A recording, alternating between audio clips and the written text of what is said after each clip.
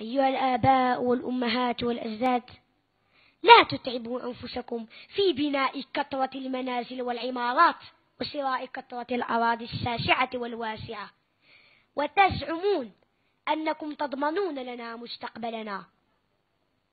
ولكني أقول لكم وباسم هذه الوجوه الطيبة البريئة إنكم ستتركونها وراءكم ظهريا سنتنازع عليها بعد موتكم. من سيحصل على الأكثر؟ وستبقى الحصيلة.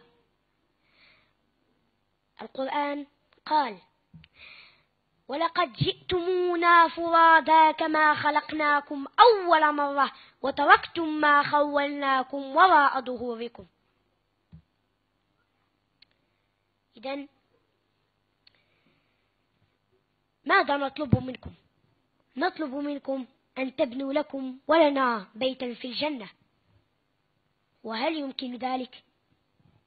قال الرسول صلى الله عليه وسلم من بنى لله مسجدا بنى الله له بيتا في الجنة. إذا ساهموا معنا في بناء هذا المسجد. الذي سيبقى صرحا تاريخيا يعبد فيه الله وحده. وستكون لكم صدقة جارية.